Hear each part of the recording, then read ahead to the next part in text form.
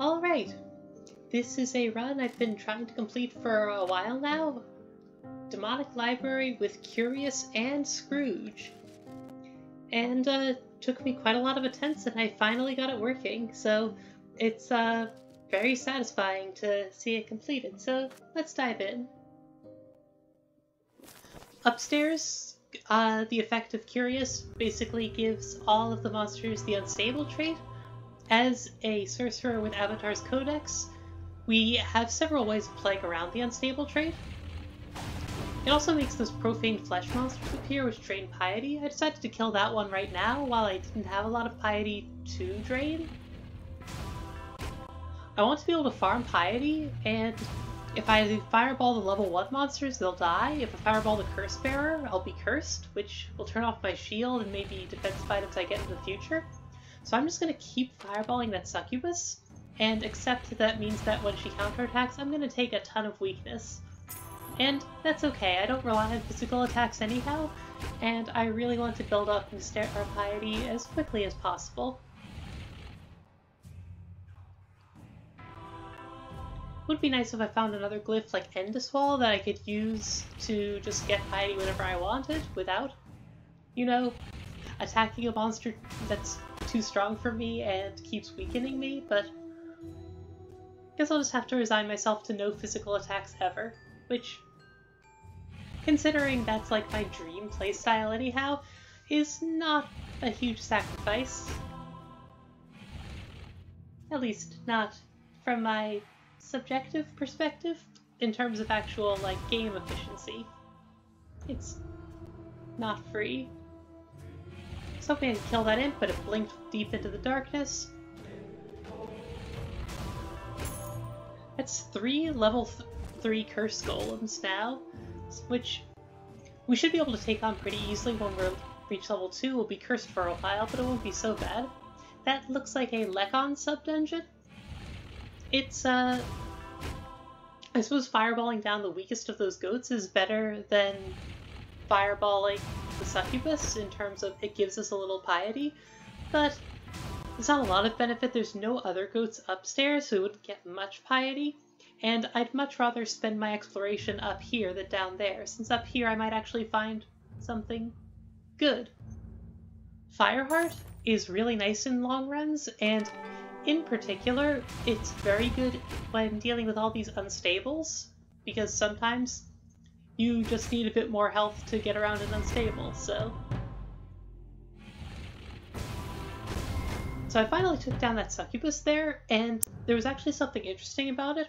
I had her at 10 HP, but with 10 max HP, the unstable would kill me, regardless of the sorcerer's healing abilities. So I had to punch another monster to pop the burning stack, which brought her down to 8 HP, and then I was able to kill her and survive the unstable explosion. Most of these kills we've had in a row here have uh, said next hit boom in red, implying that we're going to die, but Sorcerer is always healing us out of danger for those. We also took on a couple of profane fleshed profane fleshes when we were out of piety because we just bought boons from Mystera. I really don't like having my piety drained, but while I don't have any piety to drain, I don't mind them at all. Wait What is an excellent find, and that will become clear one, why that's so important will become clear once we go downstairs.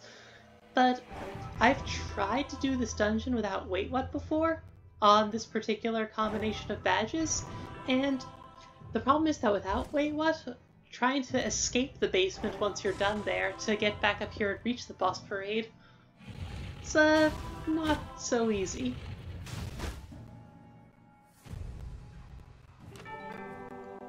Now that I spent most of my piety, I can happily take on that level 6 Profaned Flesh. In previous runs, I didn't really take these on so much. This run, I've been a lot more conscious about figuring out exactly when I can afford to go after them, uh, deliberately buying boons in order to get myself down to low piety so that I could go after them without losing piety.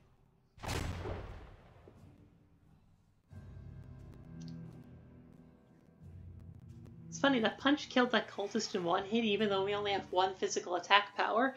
It's because even though our punch didn't do a whole lot, the cultist counterattack into our mana shield did quite a lot. I think I can take this level 8 imp if I dizzy it. If I don't dizzy it, then surviving the unstable is going to be dicey. Alright, I love getting kills three levels higher than me. This succubus would be a nice target as well. Now that I've started the fight, I'm starting to feel like maybe it would have been smarter to dizzy her first with wait what. That's probably what I should have done. So, bit of a mistake there.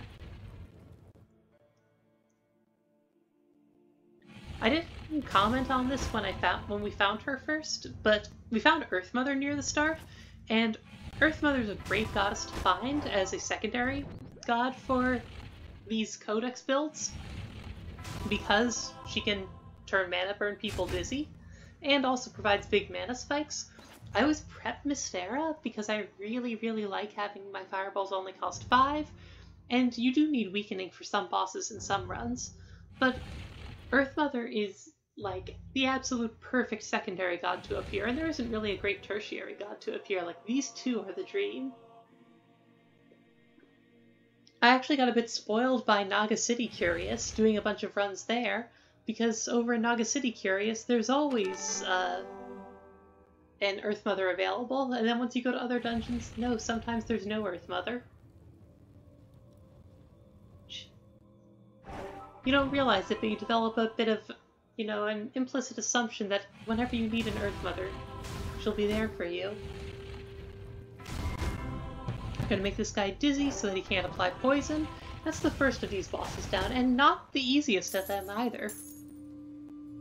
The easiest would be in the top right, with Physical Resist and Weakening Blow, neither of which apply to us, and the bottom left, with Retaliate Fireball, which we have Avatar's Codex, Nobody doesn't have Retaliate Fireball.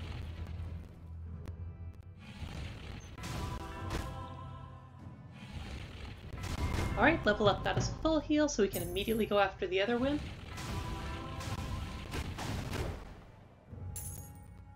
That was another fight where we survived the unstable by the skin of our teeth with essence transit.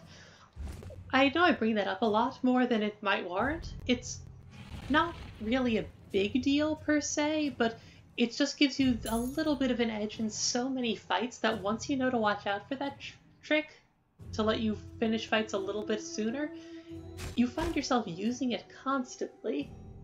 So it adds a neat element to gameplay there. Buy the Gloves of Midas because... why not? It doesn't make a difference either way, really.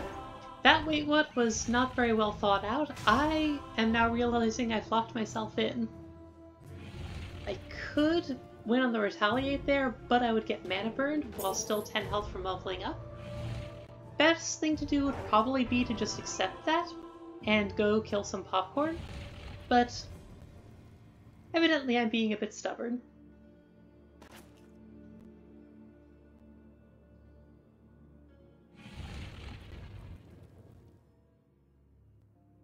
Crystal Ball. Now there's another great find. The gold cost doesn't matter to us because this dungeon showers us in gold.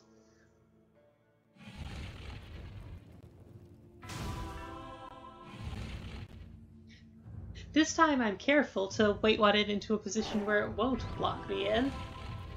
Once bitten, twice shy and all that. So finally that fight's done, but we used a ton of darkness to finish it. And we're going to really be feeling that lack of darkness, especially since it looks like there's no Pisorf and there's no Endiswal, so we can see the secret sub-dungeon in the top left, just above that level 7 cultist. Like, we can see from the walls where it is, but we have no way of getting there.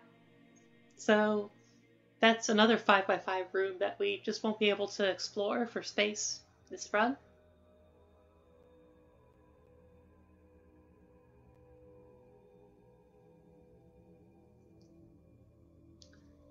There is more darkness down here. I'm at 19 max mana. I would really like the 20th. that's kind of the one downside to prepping uh, the Smuggler's Den, is that it puts one of your mana boosters out of easy access, where you go have to explore a bunch of tiles that you know won't reveal good monsters that you actually want to fight in order to get to it, which means early in the game you just can't. So you often end up near the end here with one mana short of where you ought to be. But darkness is nice. And if you do explore that in Waste of Darkness, it's just darkness that you wouldn't have had in the first place if you didn't prep Smuggler's Den, so it's hard to say it's bad by any stretch of the imagination.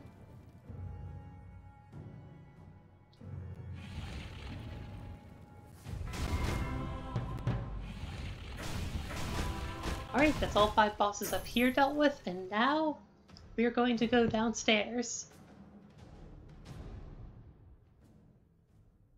Once we've regened a little bit.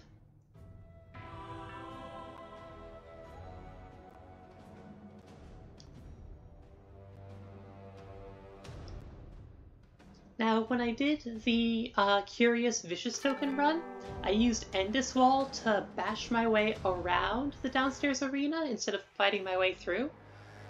Since we're not don't have the Vicious token, the question mark question mark question mark guards only have half as much health as they did in Vicious token, so luckily we're not going to be as screwed from not being able to do that, but we are going to have to fight our way through, and it is going to be not the easiest thing, especially since sometimes you just get unlucky with how the numbers end up.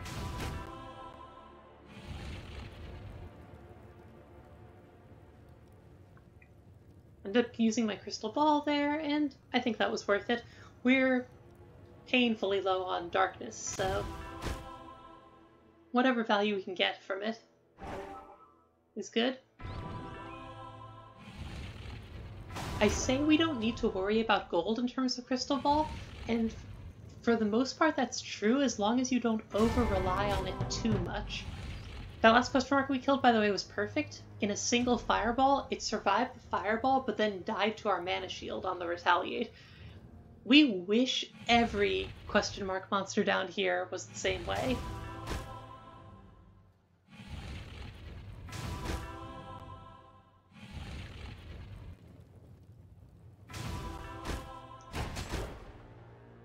But as I was saying, I'm said we can mostly just crystal ball whenever we want and without caring about gold, and that's largely true, but there's a bit of a lie in there as well. With Fireheart, which is like Crystal Ball, but without the gold cost and for health instead, often we're fine with casting Fireheart when it's only a charge to like 10% or so, if that little bit of extra health or whatever it gives us is what we need. Crystal Ball, we don't have the same luxury. We can't just fire it off at two mana whenever we feel like it. We will run out of money if we do that. So we can use it a lot, but we do have to be a little responsible with it.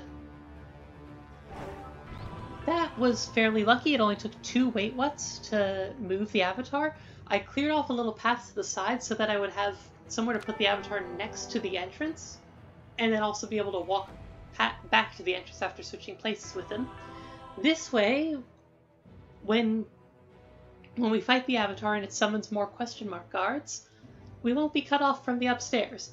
That's really helpful during the fight because it means we'll have access to all of the resources up there, like being able to convert glyphs to refill our mana, or ask Earth Mother for help if need be. But it's especially important because we're trying to do Scrooge, the boss has 75% magic resist, so Piercing Wand is the best item we can find to help with that.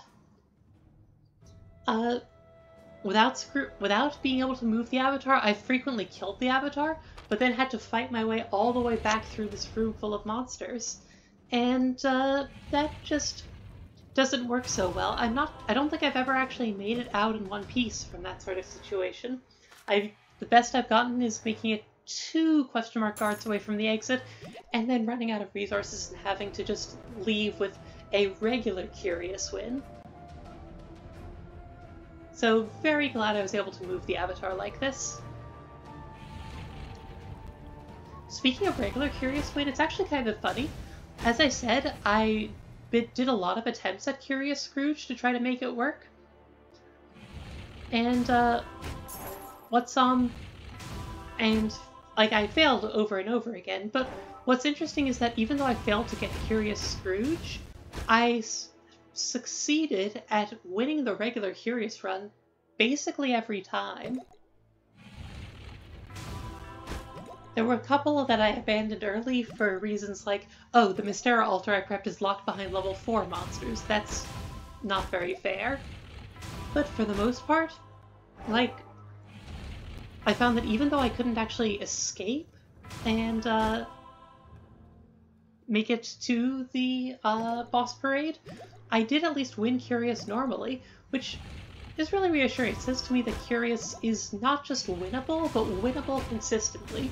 Curious Scrooge, I think, is not winnable consistently, at least on my current skill level, but is winnable. And this is why I was so interested in the run. Even though I have Avatar's Codex, the Avatar when killed drops a second Avatar's Codex. Now normally you've already won, so there's nothing left to do with your double Codex. But with Boss Parade, there's post-final boss content, so, we have 12 more bosses on which to inflict our double codex nonsense. And that's what I've been looking forward to this whole time. When I chose this run, I was 100% guided by the beauty of my weapons, and there are no weapons half as beautiful as double codex. They don't stack with each other maybe as well as you would like, since, you know, the second codex can't make the burning stacks instantly max out twice as hard. But the second codex also can't make them retaliate fireball twice as hard, so it's still a reasonable spike in damage. We did use basically all of our potions fighting the Avatar. One of the big risks in this run is that you survive the Avatar fight, but you have to convert your original Avatar's Codex in doing so because you run out of uh, health resources. And I'm really glad that didn't happen because having to do the boss parade on only one codex, like, takes the fun out of this particular run.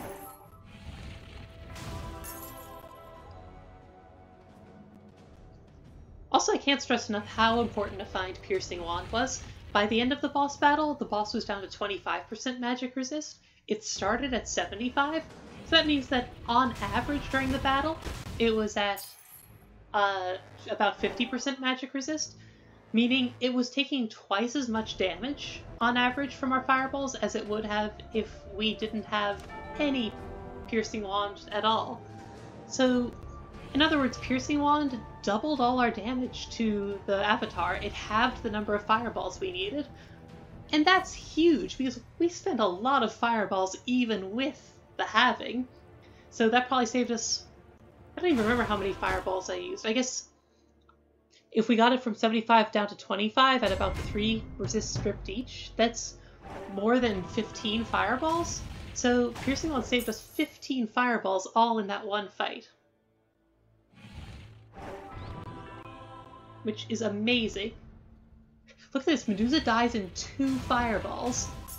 Medusa with her Vicious Dungeon stats because the boss parade uses the whatever big percent the upstairs of uh, Demonic Library is, I think 40, 140% difficulty. Medusa still dies in just two fireballs. That's insane. I'm sorry, I just... If you know anything about me, you know I love me my Avatar's Codex. So double double Codex is just it's really hard not to grin like an idiot playing this run and then keep grinning like an idiot idiot watching the run again later.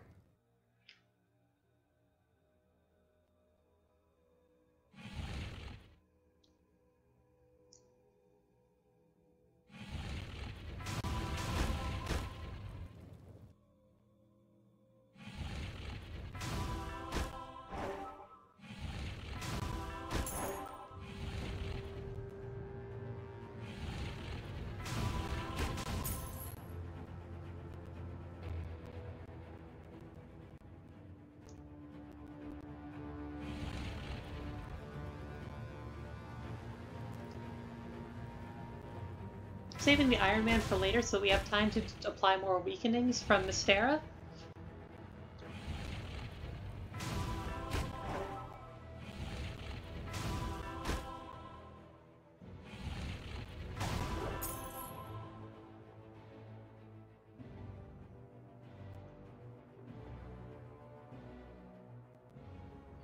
I'm looking for someone I can kill to get me closer to a level up. I want to do a mid-fight level up to deal with a difficult boss downstairs. Most likely Iron Man.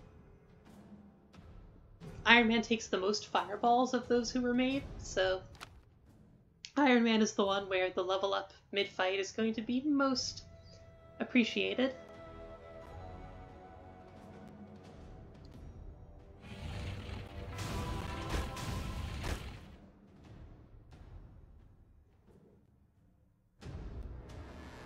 Really set the level up up properly, though. I'm still 9 XP away from leveling. Luckily, this profane flesh survives the first hit just barely, so when I attack this imp, it will die to the burning stack, and that levels me up. If it had died to the fireball directly, we would have taken like 100 damage from unstable, which is why I couldn't take on that like level 7 imp that was standing next to it. That would have killed me.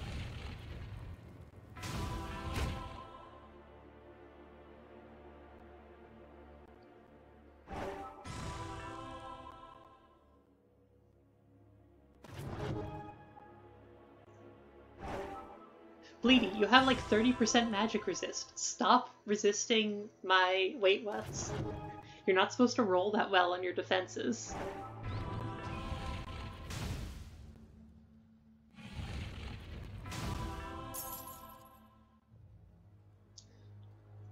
We had more resources left than it looked like because even though we used all of our potions on hand during the Avatar fight, we hadn't converted any of our glyphs upstairs yet, and all of our glyphs are, well, A, our glyphs are mana potions in and of themselves, thanks to refreshment, and B, they give us more mana potions due to Gnome Sorcerer, or Gnome specifically. So we did have a bit more resources left than it seemed. I am four piety away from leveling up, and I can't desecrate any gods to get this level up. So I'm looking for somewhere I can harmlessly, safely cast a fireball to get my level up. And it turns out this one random question mark god here, guard here, will retaliate weakly enough that I can do it. There are also some piety sparkles down by the Pact Maker that I would need to pick up, that I could pick up, but even then I could only get three that way and I need four, so I would have needed to attack that question mark guard at least once.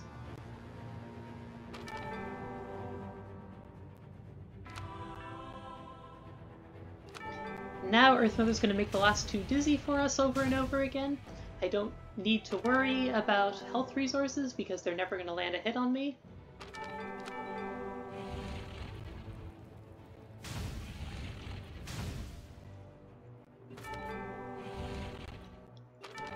And they last two die simultaneously due to the burning stack that was a lot of bosses who could not stand up to the glory that is double Avatar's Codex.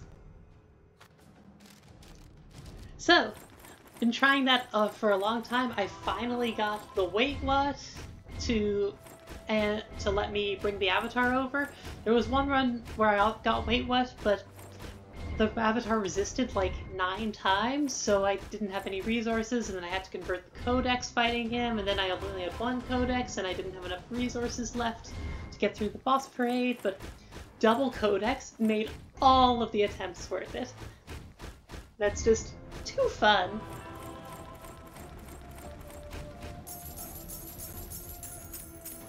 Just much too fun.